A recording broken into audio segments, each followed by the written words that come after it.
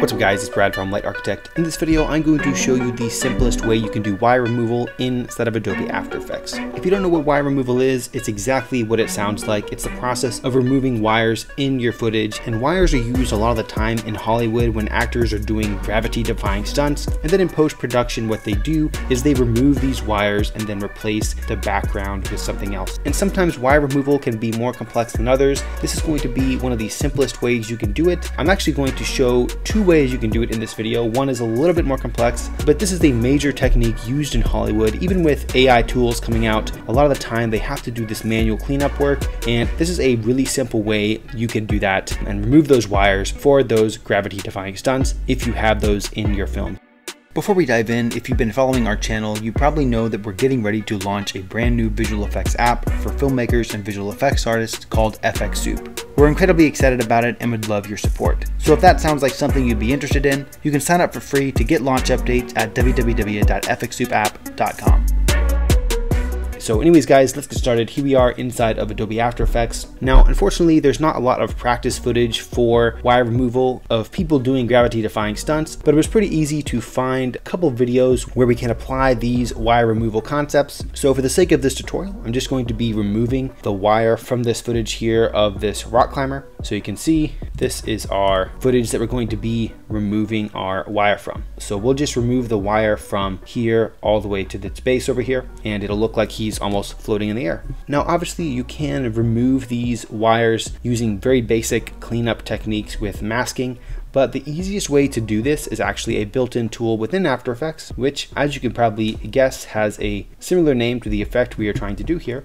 So if we just type in wire under the effects and presets panel here, we'll actually see here we have an effect here called CC Simple Wire Removal. So this is going to be a, very simple way to do this. So let's go ahead and just drag this onto our clip here and I had two other clips here that I was using as examples, but I'll go ahead and remove that. And this effect is fairly intuitive. You can see we have two different points here that pop up when you select this effect. And pretty much how this works is you grab these two points and you line up one to the end of the wire and you line up the other to the beginning of the wire. So we'll do something like this. And then once you line it up as best you can, you can just slowly increase the thickness of this effect here and already you can see we have removed that wire on this specific frame now obviously if we go forward those points aren't tracked. So this is kind of where the manual tedious work comes in. But what you do here is you line up those two points and increase the thickness. And then you can also play around with the slope and mirror blend. The slope kind of stretches the pixels more. And to show you guys kind of what these other two effects do here I'll actually use a different background. I'll show you guys kind of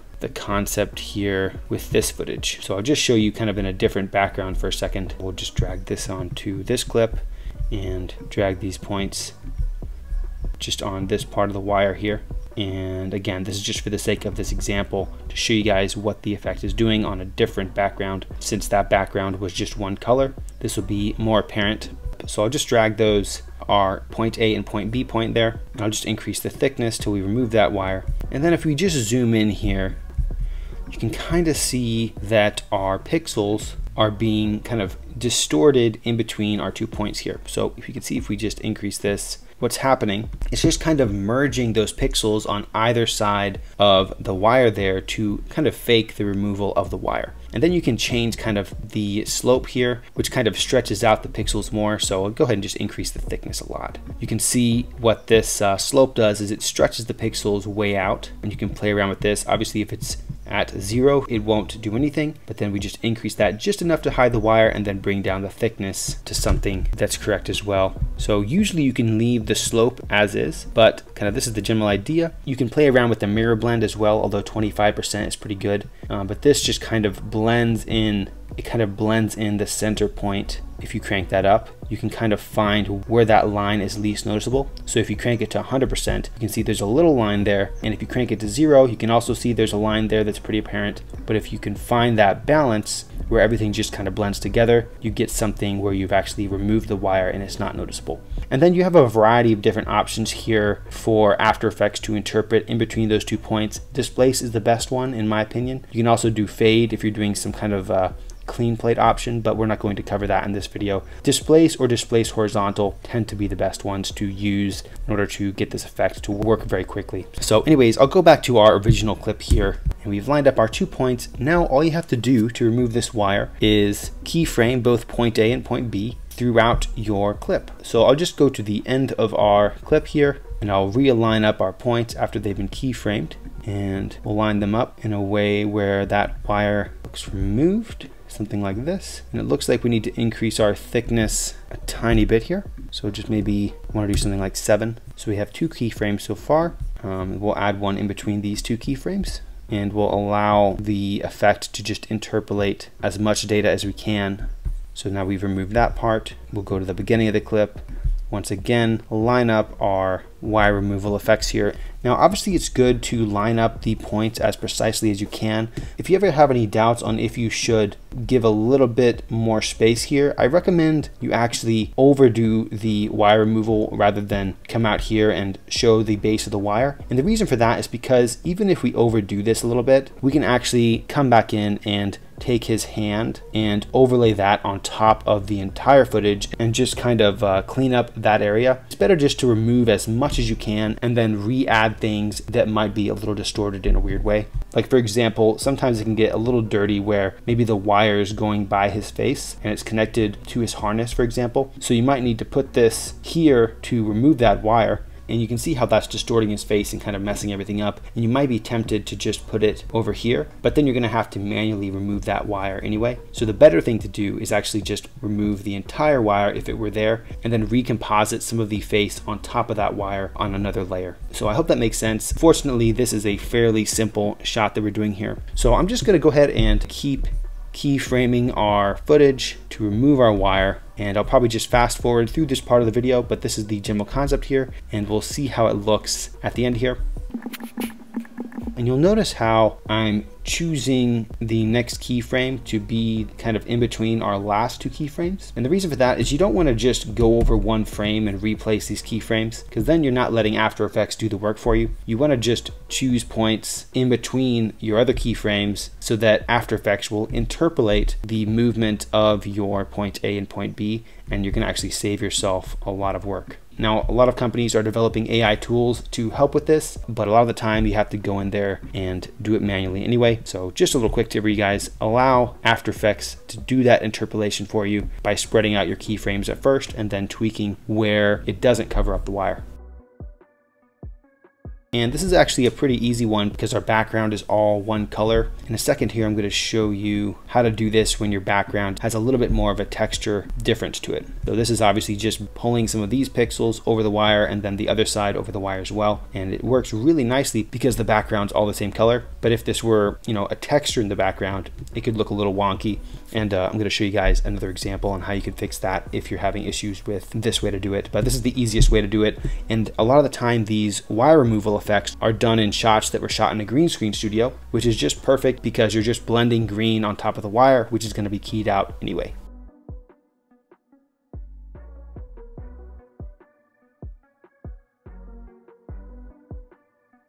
And just like that, we have removed the wire from the shot. He looks like he's pretty much floating there. Now there's a little distortion here on the rock and you can do some cleanup on that by recompositing some of this rock over that area where you see some kind of distortion. But this is the simplest way you can remove those wires very quickly inside of After Effects. Now before we finish this video, I want to show you guys one example where you actually have to use a clean plate instead of this uh, kind of displacement technique that I've been using here. And I'm going to show you guys how exactly we can do this. So we're gonna move to this clip right here. And it's just a clip of a cameraman on an Easyrig. And just for the sake of this example, let's say we want to remove the wire on the Easyrig here. So let's go ahead and try our original technique so we can find our wire removal effect here. And we'll just go here, drag that on, and again, line up our two points to our wire. I'm gonna do it quick and dirty here for the sake of this tutorial. Let's just line this up as best we can increase the thickness a bit. We start removing that wire, something like that looks pretty good. We can kind of play around with the slope and mirror blend to blend in those edges. And then let's start adding some points on our shot here. So I've keyframed point A and point B, and we'll just start lining this up here to remove that wire.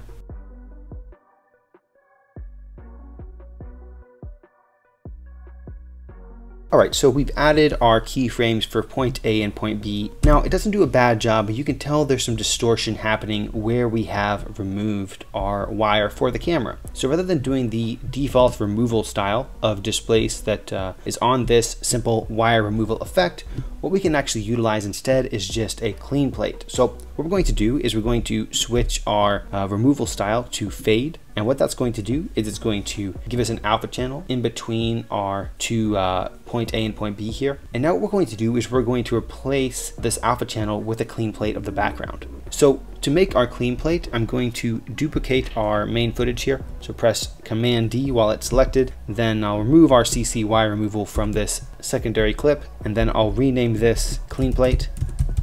And then we'll go ahead and scroll through our footage here. And what we want to do is we want to recreate our background behind the cameraman on this shot. So we're going to do a little bit of paint work. So I'll find a frame here, probably right here is pretty good. I'll mark it there and I'll right click our clean plate layer. I'll go to time, freeze frame. And now we have frozen this frame here. And now we can double click this and we're going to click on our clone stamp tool and we're going to start recreating this background so essentially removing the cameraman from this footage so I'll press option to select the source of our paint tool and I'll just start removing our camera as well as our cameraman from this part of the footage. Now you can generate your clean plate in any way you want. You can use some generative fill if you'd like, but the whole point here is to try and remove our cameraman here.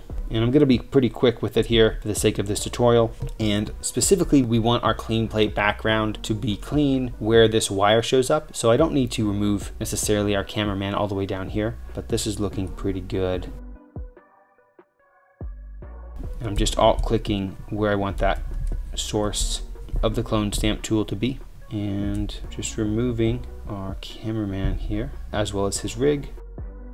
Just focusing on cleaning up where that wire is going to be throughout the shot. So you might need to remove more of the background than I'm doing here, but this should be pretty good.